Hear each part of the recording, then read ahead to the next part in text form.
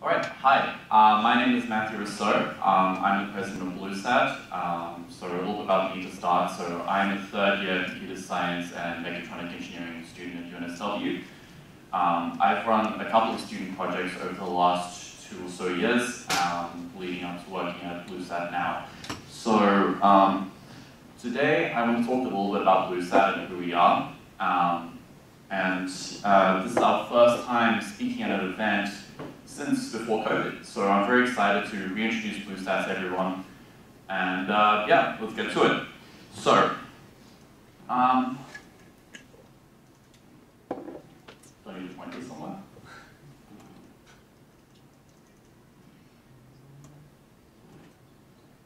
Sorry, try now. Sorry. Hmm? try, try now.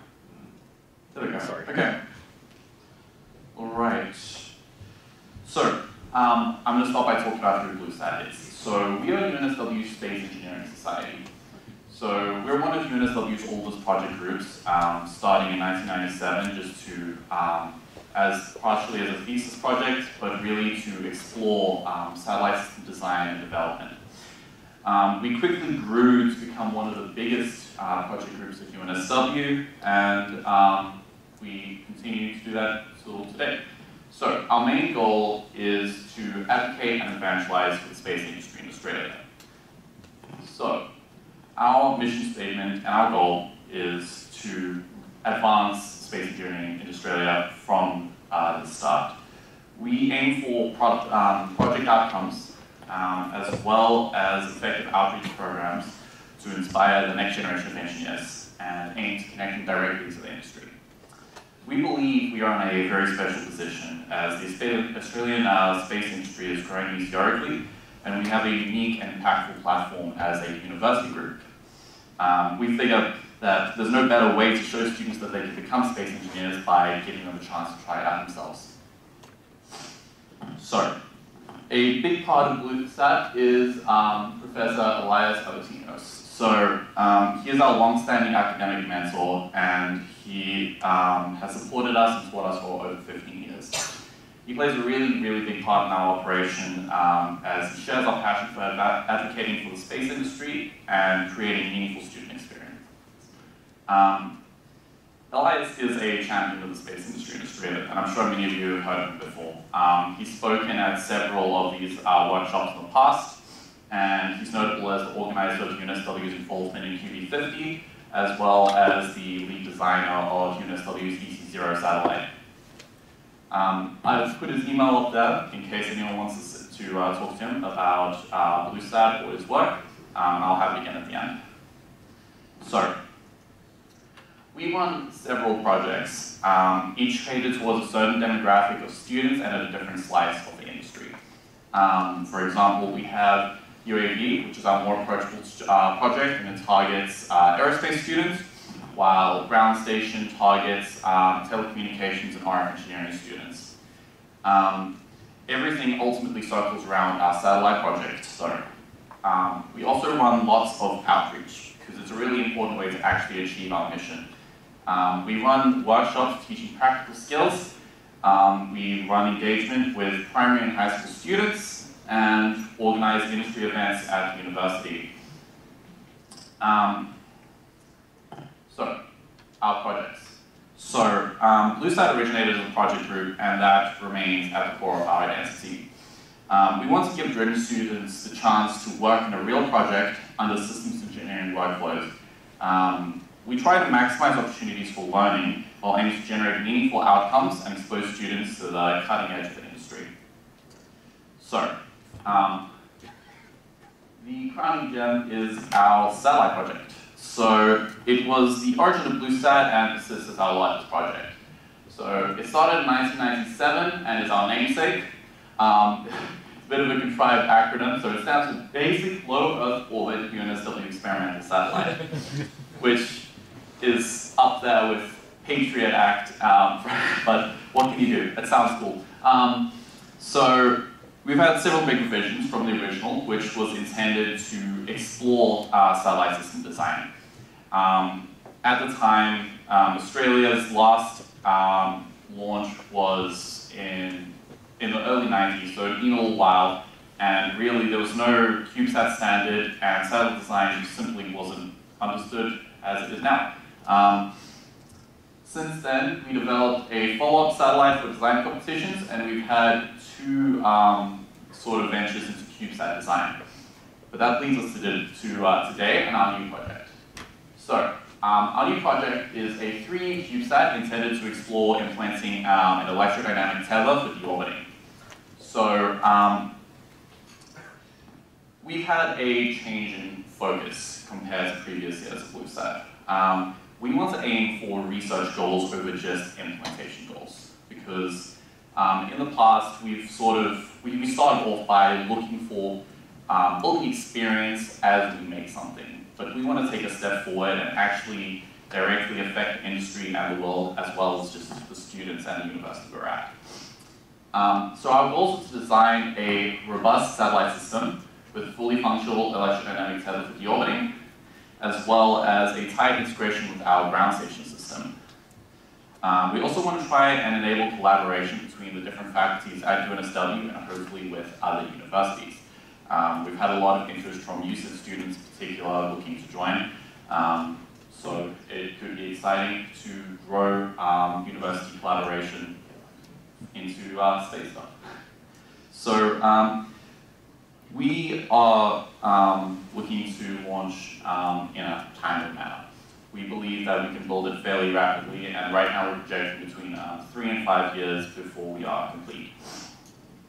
So for the tether, for those of you unfamiliar, it is uh, a superficially simple concept. Of course, it isn't really, but the idea is that when you have a satellite moving through um, the Earth's magnetic field, um, you can release a loop, right, as, as in a loop conductor, and as it moves through the Earth's magnetic field, it will induce a current.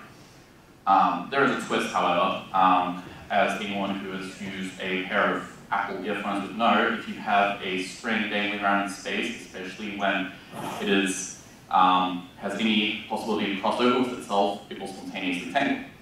So um, the cool part of a tether design is it consists of a single stretch of conductor, which is designed to interact with um, the um, plasma conditions of the ectosphere. So um, because of differences in density and charge, um, electrons will collect on one side of the tether and go out the other, giving us a virtual loop for currents to flow across. Um, this consequently generates um, an electromotive force and it can be used for deorbiting. So um, we think that this is um, ethically uh, important because um, with more satellites being launched than ever, especially with the advent of CubeSats, we do need to start considering how we, um, we treat um, the Earth's orbit. Right now, there is not a lot of focus on um, custodianship of space, and we figure that if we can manage to implement this as a student group, it raises the question, uh, why shouldn't everybody? That doesn't depend on us doing it first, but yeah. Um, I should also uh, mention that obviously uh, Sabre is working this, for example. But yeah, um, it is relatively underexplored otherwise. It's been proven feasible in the past, but there are not really any large-scale efforts to implement it. Um, on this previous slide, this this was JAXUS one, which was attempted a little while ago. It was ill-fated, but um, there's been very few large-scale efforts besides this and a few things in the 90s. So, um, I'll talk through our other projects because they're all uh, tied to satellite, and then we can uh, wrap up. So, our ground station project um, began to support the QB50 CubeSats. Um, it quickly grew to become a core project for us though, and um, it was very nice because it's, um, it served telecom students and RF engineering students who generally were sort of left in the cold by UNSW's other student projects. So it was a really nice experience for them. Um, our new project is a fully autonomous ground station to um, acquire, track, and communicate with satellites um, with a unidirectional antenna. The benefit of that is that um, we can make our ground station portable, for one, and more importantly, we can get accurate, high-powered tracking and avoid upsetting uh, the ham radio community, which um, we've managed to do even without a gas station off, well, on. Anyway, um, the advantage of having this, um, yeah, okay. So next is our balloon project. So um, it's a um, stratospheric lift balloon um, with the um, purpose of testing space hardware at the edge of space. So um, currently we can get up to 30 kilometers of altitude uh, with a 20 kilometer payload, but we hope to boost that up much further. Um, the cool part of this is that it allows us to have a sort of complete ecosystem between our projects. So for example, we can load a flat sat onto the uh, balloon, which can be communicated with by the ground station, and we can communicate with, sorry, rather test all three of our projects in one swoop, for example. And one final note is um, outreach. So um, we think outreach is the most important thing we do ultimately, because um, while there is a lot of effort to advocate for STEM in schools, most Australians have no idea that an opportunity in space engineering is really feasible, even um, undergraduate students, and that is what we seek to change. Um, we believe that um, exposure should start as early as it can, because realistically, a lot of people um, historically are captured by the ideas of uh, space industry when they're very young. But without knowing it's even a choice, that's hard for people to do. Um, I've got a couple of pilots here. So at the top left, this is a solar we run regularly. Um, on the right is Ascension's Girls, Girls in STEM event. Over here is where we paid a visit to Ronald McDonald House. And on the right was a visit to a high school event, again for girls in STEM. Um, but yeah, ultimately this is the most important thing we do. And if anyone is interested in getting involved, we are very, very open to it. Because really, um, the next generation is the future, and it is very, very important to reach out to them. Um, so yeah, thank you very much. Um, if you are interested in getting into contact with us, um, you can send either myself or Elias an email. We are changing to an at email, so um, for the next week or two, um, this won't be available, but after that it will be.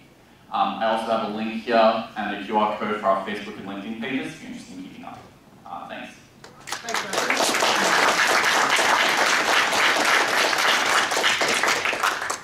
One quick question, if there's any burning question. Yes, sir. The uh, tether experiment sounds really interesting. Um, uh, very, uh, congratulations on that. Um, what sort of potential um, power can be drawn from such a tether? Presumably it depends on the length. Yeah, basically. So um, it can get very high. So some um, experiments have um, satellite um, tethers that go into the hundreds of meters and they can generate over a kilowatt of power in that case. We'd be looking at um, creating a relatively short tether though, because it's a 3U CubeSat, and realistically we do not need a huge amount of um, power generated to effectively deorbit. So the goal is really to reduce the um, orbital lifespan from two or three years to one or two months from when the tether is activated. Thanks. Tim?